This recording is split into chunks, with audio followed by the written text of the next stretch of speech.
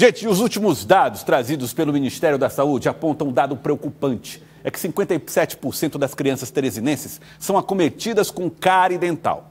Esse número é quase a mesma porcentagem de toda a região Nordeste. Um projeto realizado pela Universidade Federal do Piauí leva escolas municipais da capital a introduzir a escovação na educação infantil. Informação simples, mas muito importante. Acompanhe.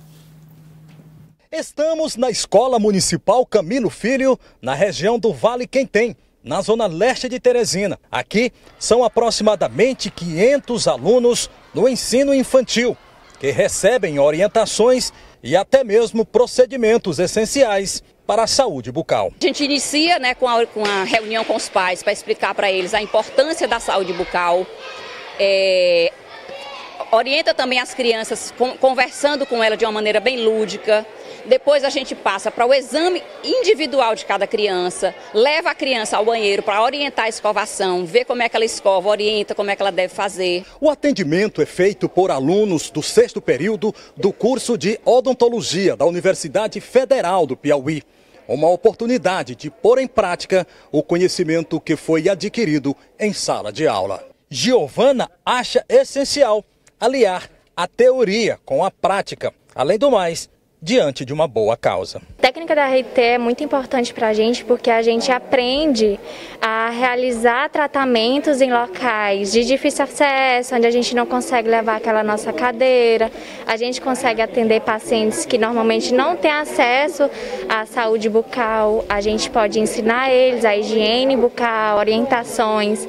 É muito importante para a saúde mesmo do paciente e também para o nosso aprendizado. O projeto da Universidade Federal do Piauí, desenvolvido com o município de Teresina, teve início na escola ainda em 2019. A meta é atender todos os alunos que já aprovaram a iniciativa. Sim, é ótimo, por causa que não escovar faz mal aos dentes. Qual o horário que você escova? É de tarde e antes de dormir. Segundo dados do Ministério da Saúde, em Teresina, 57% das crianças de até 5 anos são acometidas de cárie dental, quase o mesmo percentual de todo o Nordeste, que chega a 58%.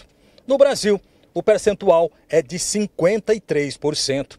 De acordo com a professora da UFP e coordenadora do projeto, o problema é grave, tendo em vista que alguns alunos relatam dificuldade para a realização da higiene bucal. Falta, inclusive, o básico para o procedimento. Temos relatos de crianças que não escovam por falta de escova. E a gente sabe que, por exemplo, na prefeitura de Teresina atualmente, os postos de saúde, as unidades básicas estão sem escova para fazer esse, essa distribuição para os escolares no programa Saúde na Escola. E aí, informação importante. Sobre a falta de escovas nas unidades básicas de saúde, a Fundação Municipal de Saúde informou que o pedido de novas escovas de dente para distribuição já foi feito e que agora aguarda a entrega do fornecedor. Então, a previsão é de que possa chegar logo, logo.